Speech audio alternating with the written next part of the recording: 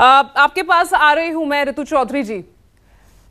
किसान आंदोलन के वक्त देखा था किस तरह से आप उनके साथ खड़े रहे उस आंदोलन में। अब पहलवानों को भी खाप पंचायतों का साथ मिल रहा है, किसानों का साथ मिल रहा है। क्या वही दशो दिशा इस बार भी नज़र आएगी कांग्रेस की? कितनी दूर तक ले जाने की तैयारी में आप लोग दिख रहे हैं, कांग्रेस दिख रही है इस आंदोलन को?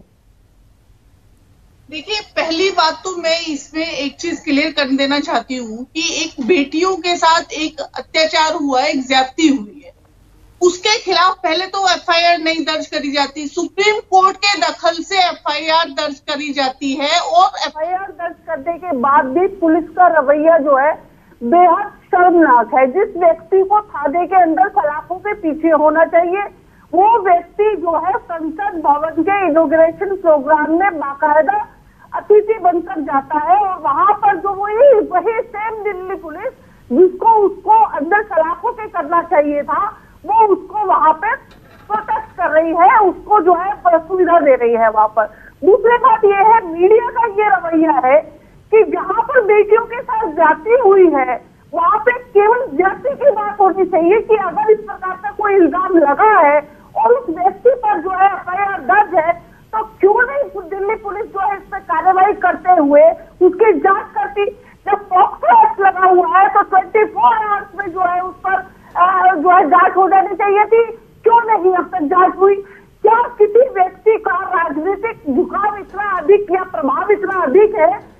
तो है नेशनल पार्टी जो अपने आपको दे, देश की सबसे बड़ी पार्टी बताते हैं विश्व की सबसे बड़ी पार्टी बताते हैं। मोदी जी जो है अपने आप के आगे तमाम तरह की जो है उपमाओं का उपयोग करते हैं, जिसमें वो अपने आप, अपने आगे जो है विश्व गुरु लगाते हैं और इस तरह की तमाम उपमाओं से अपने आप को संवारते हैं। तो क्या उनको ये नहीं लगता कि ये व्यक्ति के मोदी जी की छवि के ऊपर इतना भारी हो गया या उनको केवल इस व्यक्ति को जेल में डाल देने से क्या उनको इतना बड़ा राजनीतिक नुकसान हो जाएगा? दूसरी बात, इससे पहले जब भाजपा सरकार नहीं थी, क्या उससे भी पहले इस प्रकार की चीज़ों पर जाति और इस तरह का धर्म के नाम पर जो है डिबेट्स होती थी कि ये जाट का मामला है ये दलित का मामला है ये राजपूत का मामला है ये यूपी का मामला है ये हरियाणा का मामला है ये खाप का मामला है। क्या पहले भी इस तरह के मुद्दे उठे थे क्या? ये अभी क्यों उठ रहे हैं जबकि भाजपा की सरकार है क्यों इस विषय को भटकाने की कोशिश की जा रही है? और कैसा आंदोलन अगर बेटियाँ जो है अपने लिए हक की मांग कर रही है और खाप पंचायतें उनके हक में आ गई कि भाई हाँ भी बेटियों को न्याय मिलना चाहिए कांग्रेस उनके हक में आ गई कि हाँ बेटियों को न्याय मिलना चाहिए तो ये आंदोलन नहीं ये हक की मांग है कि उस दोषी को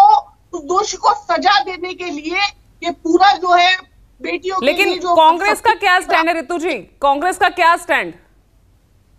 कांग्रेस का यही स्टैंड है कि बेटियों के साथ अत्याचार होगा तो हम लोग खड़े होंगे सर कटने तक खड़े होंगे मरने तक खड़े होंगे